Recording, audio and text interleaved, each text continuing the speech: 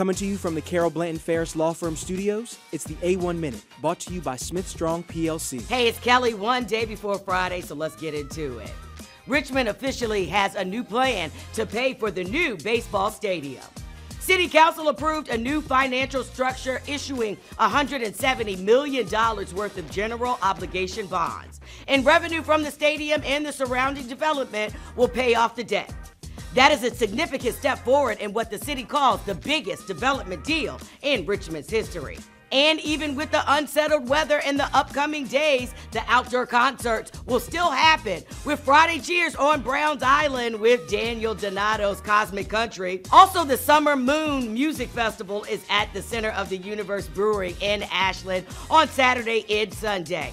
In Music at Main starts a three week run tonight at Main Street Station with Ben Core All Stars Frankie Beverly Tribute. And lastly, among the best golfers in the world set to play in the PGA Championship is Josh Speight. He's the director of instructions at the Club of Viniterra in New Kent. The PGA of America holds 20 spots each year in golf's second major for local club pros to tee it up with the best in the game. This is his third appearance in the tournament, which is taking place this year in Louisville, Kentucky. Play starts on Thursday. This episode was brought to you by Smith Strong PLC. Be sure to keep up with the latest news on Richmond.com and get interactive with us over at RTD News. We'll be back tomorrow for another A1 Minute.